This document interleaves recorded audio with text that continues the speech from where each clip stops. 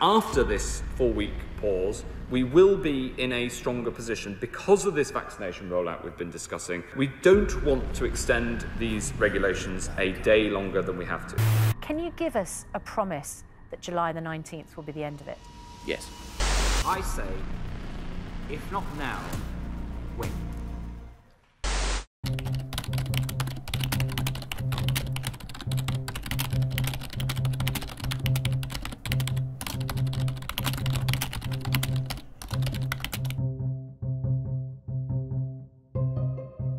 Basically, it just means my life is just unrecognisable. On a good day, you know, I'm able to, to get dressed. I don't recognise myself. I really don't recognise myself. I used to have long blonde hair. I, I used to be really sporty, really active. I'm getting worse and not better, and you know, I don't have any answers from doctors. They don't know when, like, if I'm going to get better, if this will be permanent. Just recording this to um, remind myself about how rubbish I feel.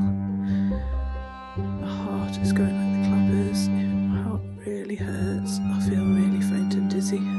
I think whenever there are policy decisions about um, restrictions and about rising infections, long COVID, we are at the stage in the pandemic where we know more about the effects of long COVID. Um, so there is no excuse really for long COVID not to feature as a really important um, indicator or factor in these policy decisions. And we look at some slides about the number of hospitalizations and deaths and daily infections, but where is the slide about illness? Where is the slide about disability from infection? Where is that slide about long COVID? And how is that being factored in into the government's uh, decisions, policy decisions about the pandemic?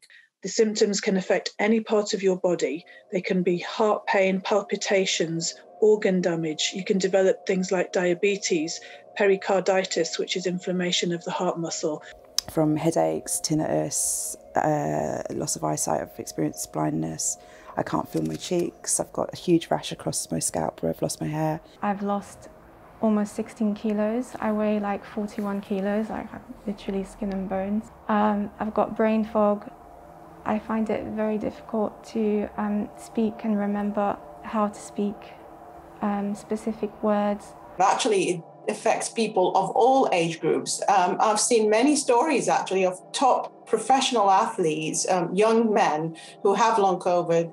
When my mum told me about it, I was like, Mum, I'm 23 old, uh, 23 years old.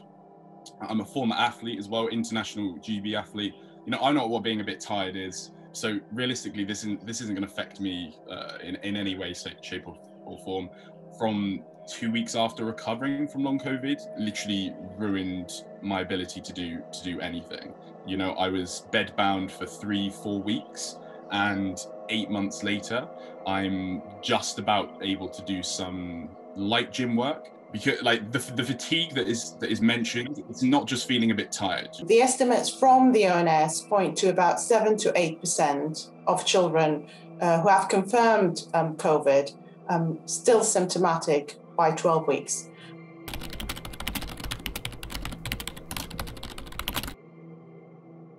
Real issue is our youngsters because children get this as well. And I think it's I think it's really important that we stop looking at COVID in a binary way. We're very too much focused on death or recovery.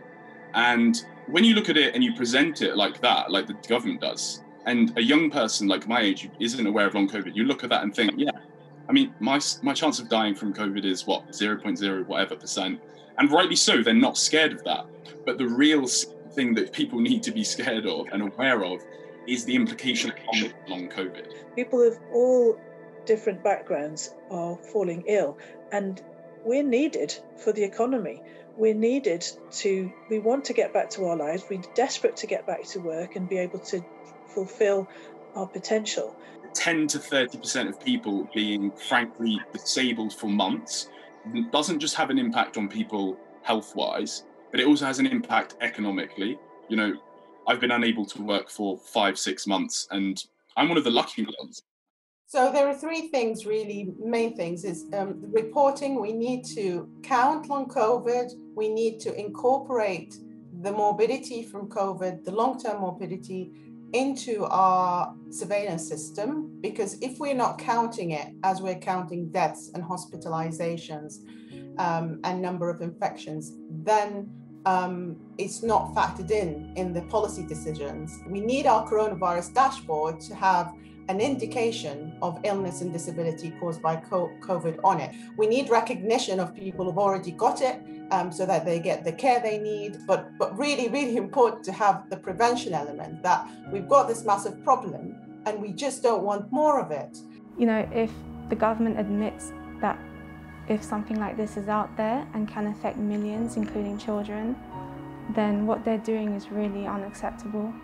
To say that people need to be cautious um, and avoid getting infected is very, very difficult. Many people don't have the choice. Children don't have the choice in terms of when they attend school. Um, the teachers don't have the choice. The parents don't have the choice. I mean, it's not really a matter of choice. So it's good to have awareness of long COVID, but it's really important to have the protections um, and the systems in, in place to try and uh, bring down community infection as much as possible. Quite frankly, to ignore COVID and allow it to pass through the, the kids, uh, the children population, is honestly, in my opinion, a humanitarian crime. I